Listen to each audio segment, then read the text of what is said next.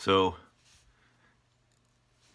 my friend Dave posted a question about after watching Donald Trump's press conference today, how could anybody, anybody see him fit for being president?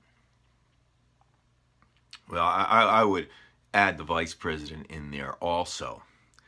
And at, at this point, uh, you know, a, a, lot of banter, chinwag goes back and forth and say, well, the, the left does this and the right does that. And, he, I, you know, at, at, some point, you, you, you just cannot agree to disagree on this or to say that there's some type of balance because there really isn't.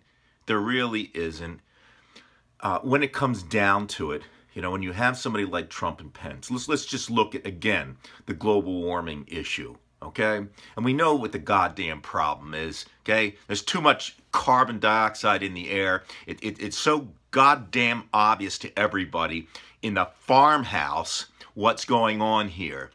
And you, you still have people that'll just, just blow the smoke out there like Pence, the same person who believes the earth is 6,000 years old.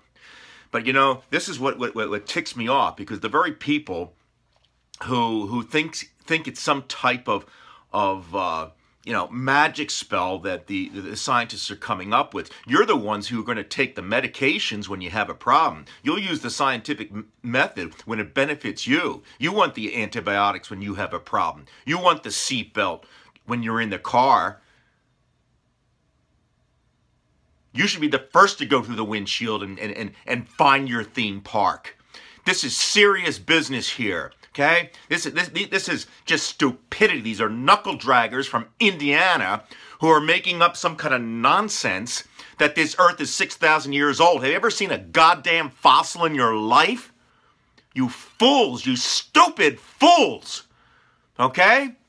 We have a serious problem on this earth, and you're listening to idiots. I know there are people on the left that are problems, but the but what's going on on the right now is just absolute insanity, okay?